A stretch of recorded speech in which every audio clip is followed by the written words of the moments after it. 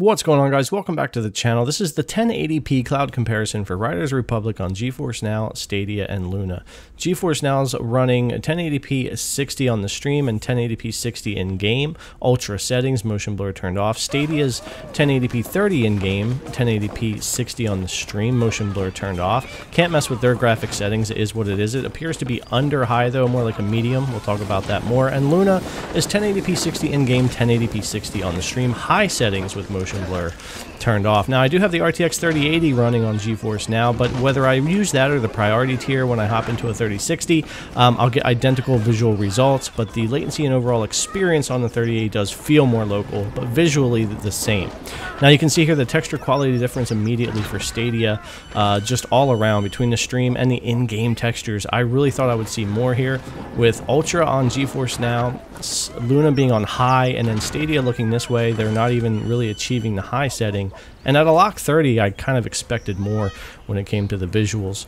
Now Luna, again here, looking really, really good on their stream and in-game on high, but of course taking the cake at number one for this, whether it would be priority or 3080 tier, um, GeForce Now would be top when it comes to cleanliness of the 1080p stream and the best graphics, lighting, shadows, and textures in-game, which makes a big difference. And as we zoom in here, you can see that GFN being the best looking at 1080, Luna, and then Stadia, even without moving around. It's just the graphical fidelity that we have right there.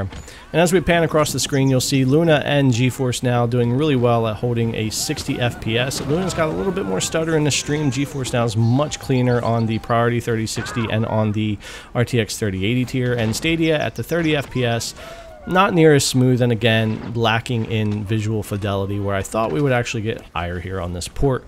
Um, maybe they'll add a 60 FPS mode that would at least help a little bit in the future. And going back over to Luna here as we pan across. And then over onto GeForce now, which, uh, again, like I said, on the Priority 3060 or the RTX 3080, this game cranked up to Ultra, motion blur off, looks fantastic.